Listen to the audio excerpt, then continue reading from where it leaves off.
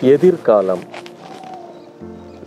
எல்லோருக்கும் எதிர்காலத்திலாவது நாம் நன்றாக வாழ வேண்டும் நன்றாக இருக்க வேண்டும்.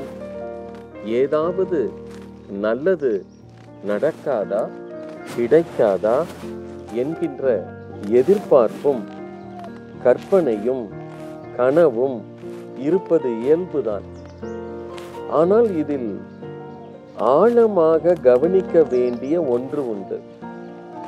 எதிர்காலம் என்பது தாமாக உருவாக்கக்கூடிய காலம் அல்ல. கடந்த காலம் என்பது நாம் ஒவ்வொருவரும் உருவாக்கி அனுபவித்து அதை கடத்தி விட்டதால் அதற்கு பெயர் கடந்த காலம். எதிர்காலம் அல்லது அதற்கு இன்னொரு பெயர் வருங்காலம். எதிர்காலம் என்றால் நாம் எதிர்கொள்ளும் காலம். வருங்காலம் என்றால் நம்மை நோக்கி வருகின்ற காலம். நன்றாக கவனிக்க வேண்டும் அன்பு ஆத்மாக்களே. இந்த எதிர்காலம் என்பதும் வருங்காலம் என்பதும் இன்னும் நம்மிடம் வரவே இல்லை. இந்த வராத காலத்தை நாம் எதிர்நோக்குகின்றோம்.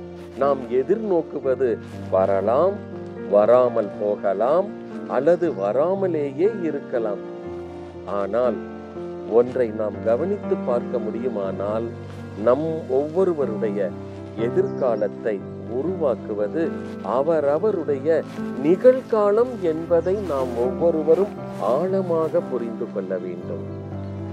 நம் ஒவ்வொருவருடைய நிகழ்காலத்தில் நாம் எப்படி எப்படி எல்லாம் எண்ணுகின்றோம் எப்படி எப்படியெல்லாம் பேசுகின்றோம் எப்படி எப்படியெல்லாம் செயல்படுகின்றோம் எப்படி எப்படியெல்லாம் வாழ்கின்றோம் என்கின்ற இந்த வரையறைகளை இந்த வரைமுறைகளை பொறுத்துதான் நமக்கு எதிர்காலம் என்பதே உருவாக்கப்படும்.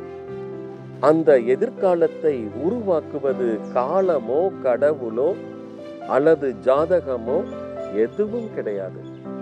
நம் ஒவ்வொருவருடைய எதிர்காலத்தை உருவாக்குவது நாம் தான் என்கின்ற உறுதியான நம்பிக்கையின் அடிப்படையில் நாம் ஒவ்வொருவரும் அவரவர்களின் நிகழ்காலத்தை உண்மையானதாக உறுதியானதாக உயர்ந்ததாக உன்னதமானதாக நம்முடைய நிகழ்காலத்தை நாம் ஒவ்வொருவரும் உருவாக்கி கொள்ள முடியுமானால் உறுதியாக நமக்கு வருகின்ற எதிர்காலமும் நிச்சயமாக உயர்ந்ததாக உன்னதமானதாக நமக்கு அனுகூலமானதாக பயனுள்ளதாக நிச்சயமாக அமையும். எனவே நாம் ஒவ்வொருவரும் எதிர்காலத்தில் நல்லவர்களாக மாற நன்மைகளை பெற இன்றே இப்பொழுதே நிகழ்காலத்தில் நல்லவர்களாக மாறுவோம்.